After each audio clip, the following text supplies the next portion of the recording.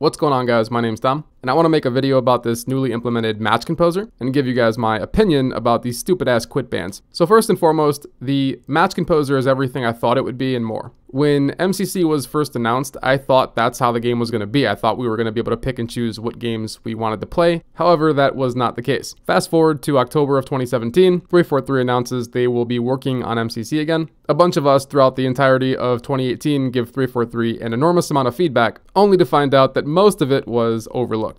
Now, those of you guys who know me know that I was a huge fan of mixtape matchmaking. I made many videos on the topic. I tried to be as civil as possible, and regardless of the attention that I got from those videos, nothing happened. We were told that that was quote unquote not in the scope of the project. August of 2018, the big patch drops, it fails. The game died once again, but finally, 343 Industries in November of 2018 realizes they cannot force players to play games they don't want to play. Congratulations, guys. But that's all water under the bridge. Even though this feature should have been in the game probably years ago, it's finally here. And this is probably, yeah, this is the best thing to happen to this game, period. So if you don't know what the Match Composer is, it's virtually an automated custom game. It's a social matchmaking mode where you can pick the game size. So you could play like 1v1s, 2v2s, 4v4s, 8v8s. You could pick the game. So if you don't like a certain game, you could just uncheck it. And you could also pick the game types. You can get as specific as you want to. So if you just want to play Halo 3 only 4v4 CTF, well, you can do that. And even when you get specific, the queue times are still pretty quick.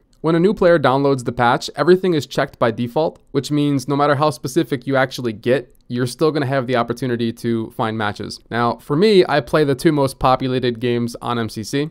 Halo 2 and 3. So I can't speak on the Halo 1, 4, or H2A queue times, but I would imagine that there are people playing those games because, like I said, all new users have everything checked by default. Now, anybody who has a brain probably realizes that you could actually force certain maps by getting specific. For example, if you play Halo 3 and you don't want to get a map like Snowbound, then all you have to do is uncheck whatever game types have Snowbound in the hopper. Now, to see what maps support each game type, simply uncheck every game type but one, search for a game, look at the maps, and then back out. Personally, I like the maps that CTF supports for Halo 2 and 3, but to each their own, so make sure you check before you play. Now, my biggest grievance with the Match Composer is there's no standard FFA and there's no oddball. I have no idea if that was overlooked for a reason. Maybe the game types are in development, but I think social FFAs would be really fun. That being said, I commend 343 for the implementation of mixtape matchmaking. The feature was long overdue, and as I've said on multiple occasions, you cannot force players to play games they don't want to play.